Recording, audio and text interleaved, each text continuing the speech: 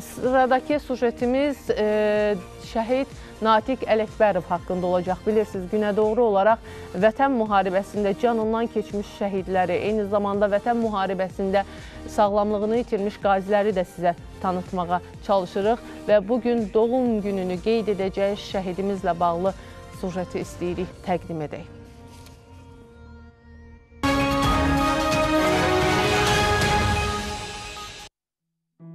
Böyük arzum milli qəhrəman olmaqdır demişdi döyüşə gedərkən Natiq. Cəmi 23 yaşı olsa da, həm döyüş yoldaşları, həm də yaşıdlarından cəsarətinə, əzminə görə fərqlənirdi o. Onu biz yola salandı voyinkomatda.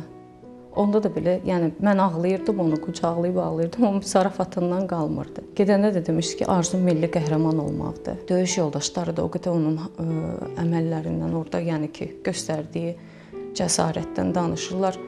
İnsan yəni fəxrdən, qürurdan başqa heç bir şey duymur yəni. Oğlum insani kişilik borcunu yerinə yetirdi vətən qarşısında. Torpaqlarımızın azadlığı uğrunda bizim uğrumuzda, şərəfimiz uğrunda canını fəda elədi. Onların sayəsində bu Azərbaycan başını, başını dikəltdi.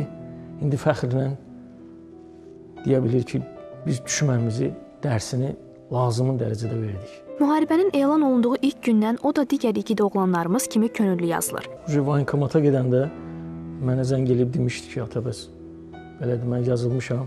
Bir şükülə getdim. Füzulidə döyüşdülər bir neçə günlər. Bir gündən bir zəng eləyirdi.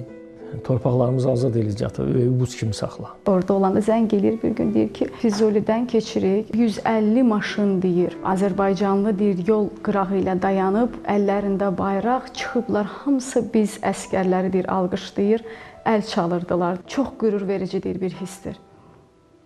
Deyir, həqiqətən deyir, sevinirik ki, yəni biz bu insanların uğrunda bu döyüşə gedirik. Qarabağ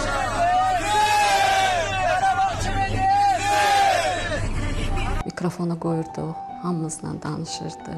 Orada olmağına baxmayaraq elə pozitiv, elə zarafatlarla danışırdı ki də həm bizi biz çalışırdıq ağlamayaq, pozitiv danışırdı ki də biz üzülməyək deyə də. Namiq dayı illərdir təcili yardımda işləyir. Yüzlərlə insanın həyatını xilas edib bəlkə də. Deyir ki, müharibə müddətində mən də cəbhəyə yollanmaq istədim. Lakin Natiq dedi ki, bacılarımı yalnız buraxma. Mən işdə idim, oktyabrın 10 idi. Zəng elədi mənə. Sübdən dedi ki, ata, bəs hücuma gedirik, Hadruda gedirik. O ərazi biraz bizim ərazidən kənardır. Ola bilər orada telefon əlaqəmiz olmasın, narahat olma, hər şey yaxşıdır. Haqqı halal ata.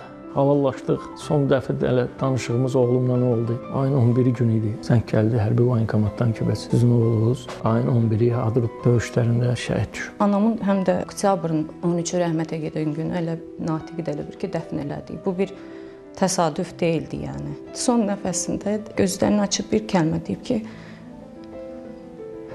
gedirəm anamın yanına. Qəhrəman şəhidimiz ölümündən sonra prezidentin sərəncamı ilə vətən uğrunda və Xocavəndin azad olunmasına görə medalları ilə təltif olunub.